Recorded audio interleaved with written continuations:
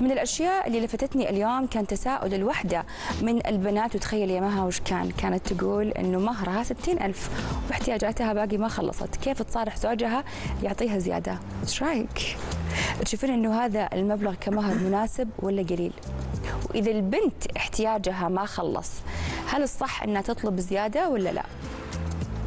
شوف الموضوع حساس بس إحنا لازم نكون حياديين هنا.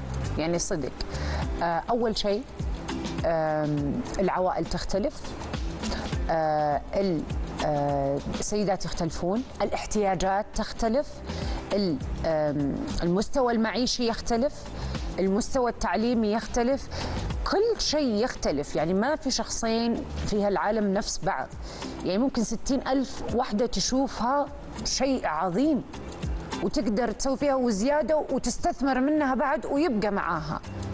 وممكن واحدة تشوف ستين ألف تقول "إيش خير إن شاء الله وش بشتري فيها سوارة؟ خلصت الستين ألف صح ولا لا؟ وفي ناس يعني قنوعة وفي ناس مشفوحة وفي ناس ما يملى عينها إلا هذاك الشيء. طيب؟ فيعني شو أقول لك؟ أنا ما أقدر يعني أنا ما أنا شخصيا ما أقدر أعطي رايي أقول كثير ولا مو بكثير. طيب بس أنا أقول إذا أنت تشوفين إن هذا الشيء ما يناسبك عندك زوجك. طب إذا زوجك مقدرته ما يقدر يوفر ليش وافقتي؟ إذا أنت هذا الشيء راح تضغطينه وتخلين على الرجال ديون وتخلين الرجال مساكين يقعد مطالب من كل البنوك ومطالب من كل أخوياه و- ولا يبيع سيارته عشان حضرتك تشترين ساعة ولا تشتري. يعني ما أشوف الموضوع منطقي الصراحة. فأنا أشوف انه على قد رجولك مد الح... مد... على قد لحافك على قد رجولك. رجولك ايا كان المثل. بس خلاصة الموضوع انه لا تضغطين عليه عشان ملابس وأشياء أصلا في النهاية راح ترمي ولا راح.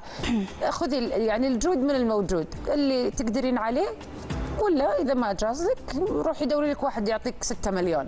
صح. مهر إذا هو ما, ما يناسبك يعني.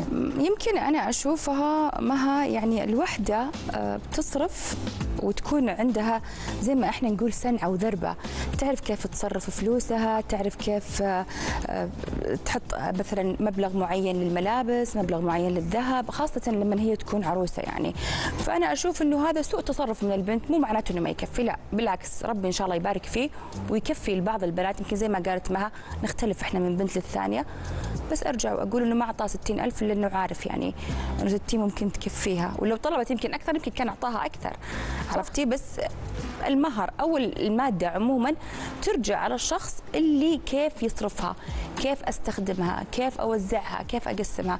فأحس لو إنها قسمتها بالطريقة الصح كان ممكن إنه ربي يبارك لها. دائما إحنا نقول يا رب بارك لنا بفلوسنا بمالنا وحلالنا. طبعاً.